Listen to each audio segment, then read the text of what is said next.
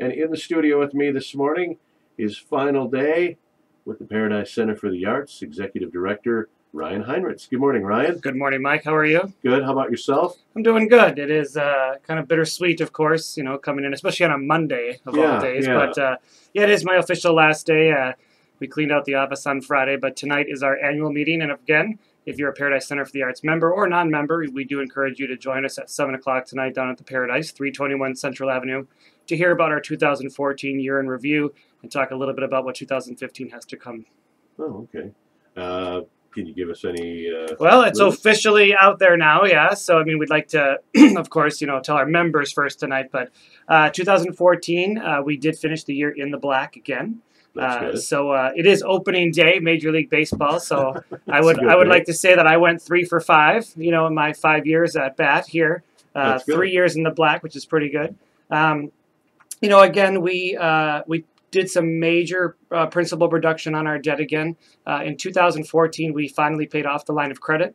Most of you know we had a $150,000 line of credit that was exhausted when I Mhm. started back in February of 2010, and that was all paid back uh, by September of last year. So we have that reopened if we needed to That's use that. Uh, hopefully we don't. Yeah. And then um, our $625,000 mortgage is down to 525,000. So we've paid $100,000 of that over the last five years as well. So That's pretty good. yeah, so I think it's like 30, I'm not a mathematician, 36%, you know, debt reduction over the last five years.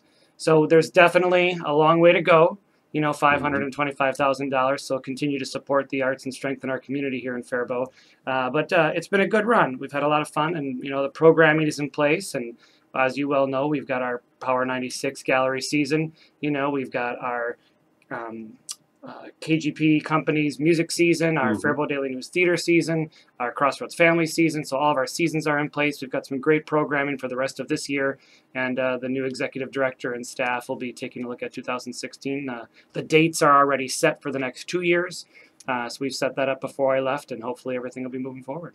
Great. What's uh, what's in your future? Yeah, so I've got a really great opportunity coming up. Um, I started my career in arts administration as the public relations intern, unpaid, uh, yeah. at the uh, the Ordway Center for the Performing Arts in 2001 out of college.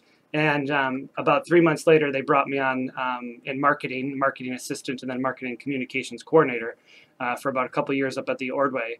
And then, of course, as most of you know, I went into for-profit sales with uh, Huckle Publishing, and then uh, Service Master by I, Service Master Cleaning franchise sales and marketing before the Paradise. Mhm. Uh, but the corporate relations division at the Ordway Center has actually been something they've been looking at for a while, and they've kind of rede- redeveloped the whole um, advancement department. Oh, okay. Uh, so they created this new position called Corporate Relations and Sponsorship Manager. And so I will be heading back to St. Paul uh, starting next Wednesday. I think I've got two meetings this week.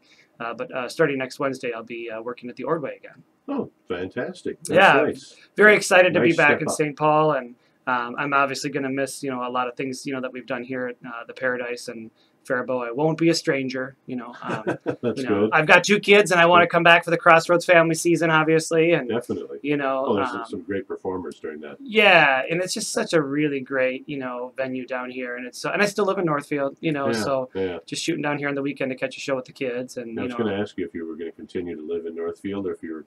Yeah, you know, uh, there's no real reason for me to, you know, move up to the cities, you know, um, and I've got my family in town, and um, and I've been there since 2001, so I've really developed some friendships and relationships in Northfield and Rice County and Faribault, and you know, so I'm very excited to be, you know. Not so much commuting excitement, you know, especially come January, you know. Yeah. Um, it, it, it always happens that I start this opportunity in the summer when it's easy to commute. Um, I think there's going to be some opportunities, especially with me. I'll be in, uh, I'll be on the road a lot. Actually, I'll be a lot of meetings in Minneapolis and St. Paul and um, out outstate markets as well. We're we're really hoping to um, grow the corporate relations division, you know, up there, and not just in the Twin Cities. You know, all of our patrons and our constituents and donors they come from all over the region. You know, so we're all going to be looking at that as well. So. Sounds good. Sounds like uh, sounds like a new adventure for you. Yeah, it really is. You know, and I'm very thankful, and I'm thankful to all the listeners who have supported us. You know, so thank you to everybody listening for supporting the Paradise, supporting me in the last five years. Uh, it's been great to bring on some of our talent. And Mike, thank you for you know helping promote our shows all the time No and problem, ticket giveaways and My pleasure. yeah. So we've got a really great you know program coming up here. I think uh, at the end of the month, our buddy C. Willie Miles will be Yeah, back and I saw that. Yeah, I was very happy to see. So hopefully he'll coming be in the studio here. Unfortunately, I won't be with you guys, you know, but uh, hopefully you guys will come out and support C. Willie. And um, this is the year that you know we're, I think we'll get pretty close, but I really want to try to sell that show out. You know, so if you're listening and you love C. Willie Miles and you love clean humor and storytelling, you know, April 25th, come out and see Willie. Um, it's going to be a great show. Unfortunately, I can't be there this time. Uh, but uh, tickets are 17 for members, 22 for non-members. Uh, so again, that thousand member campaign. I just talked to Julie uh, right before Friday when I left. You know, we're at like 568 members. You know, so we're like halfway to that thousand member goal we talked about back in 2011. Yeah. So continue to support the arts and strengthen our community. It's all I can say is that it's been a blast. I'm really glad to have been here the last five years, and I look forward to coming back and seeing what the Paradise is going to have to offer next. Yeah, it'll be it'll be interesting to see what happens in the future. Uh, I was going to ask you. I know you you can't really say who some of the candidates are, but have there been some pretty good candidates that have stepped forward? Yeah, you know there there have been. Uh, you know the the funny story is is that um, you know in uh, Red Wing, the Sheldon Theater in Red Wing, uh, Mhm. a good friend of mine, Sean Dow, is, uh, is the executive director over there, okay. and he's retiring this year. So uh, they just went through their search for an executive Oh, director. boy, yeah. So I called Sean and I said, you know, hey, give me all your applicants. And, you know, they officially couldn't do it because it's a city job and whatever. But he told us how they went about advertising for their position, Okay. which is really helpful. So we put out um, a national search um, on the uh, APAP Job Bank and Springboard for the Arts and uh, Minnesota um, uh, Presenters Network and Wisconsin's Presenters Network. So we have really done a, a national search for the position for the Paradise. And we've had a lot of applicants, I mean, from all over the United States. Um, uh, some from the Twin Cities Metro, of course. Mhm. And uh, so it's been going pretty good. We've had some good candidates in. Uh, we actually have two interviews today before our board meeting.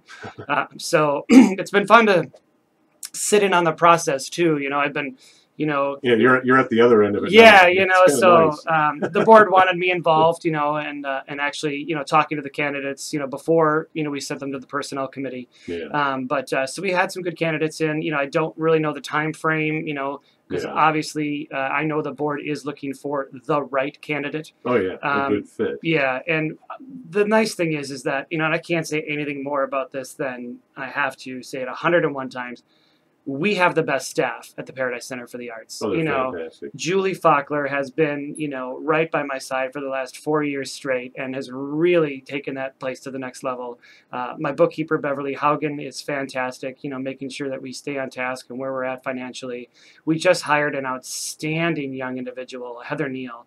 Um, she's our uh, box office and guest services, and she's really going to take our new, um, I guess, announcement in front of everybody and on camera now, too, at, here in Oh, the okay, studio Okay. is uh, the Paradise Center for the Arts will be going live online with ticketing, online oh, wow. ticketing. Yeah, Nice. the goal is to start very that nice. tomorrow, and uh, so she's going to take that by, I mean, really take that to the next level too. So uh, we That'll work, we really work. convenient. Yeah, we worked with A&P uh, Design uh, out of uh, Dallas, Texas, Dallas Fort Worth, Texas, um, to really help um, make sure that it's not like when you buy a ticket, you have to go to somebody else's site Yeah. you know, to really integrate it into our current website. So it looks like it's very seamless, and uh, so we're really working hard on that, and hopefully getting that everything ready to go by tomorrow. So kind of funny that my last day I'm leaving, and now I've given you this wonderful gift of online ticketing. But it really comes, it's nice. it really comes in the memory of Karen, um, Karen Johnson, uh, George Wickstrom.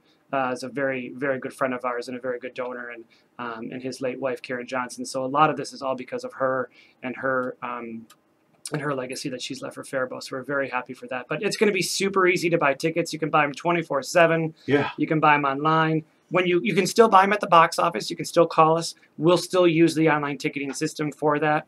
Um, I will tell you that there will be a dollar seventy-five per ticket transaction fee to use the system, Well, of course. Usually, that's the way it usually Um, is, though. But yeah. as it's you know, It's I'm going to opening day next week, and I'm not paying twenty dollars for my you know processing fees for the twins or something. So yeah, it's only you know a dollar seventy-five per ticket, and it's gonna just make. And the nice thing for us is we're gonna be able to capture the information we need. We've never known names, addresses, email addresses, phone numbers.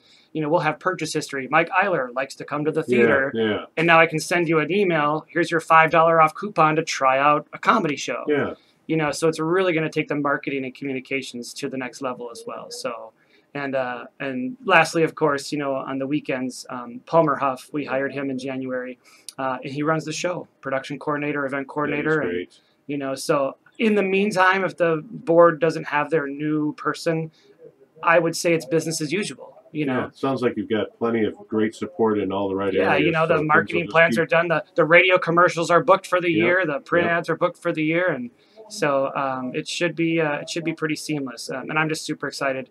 My joke has always been I'm I'm excited because the next person probably will know what they're doing. You know, like I'm a marketing and communications guy. I'm not a art center admin. You know, so uh, so I'm really really excited for the future of the Paradise, and I'm looking forward to come back. Well, good luck. I, I appreciate all the hard work you've done there, and it's always been great having you in here in the studio Thank you. and uh, talking up all the shows and, and getting me into some of the shows That's right. sometimes. I appreciated that, and good luck in your future endeavors with the Ordway and beyond. Thank you. Thank you very much. Ryan Heinritz, Executive Director, very last day with Very the last Paradise day. Center for the Arts here in Faribault.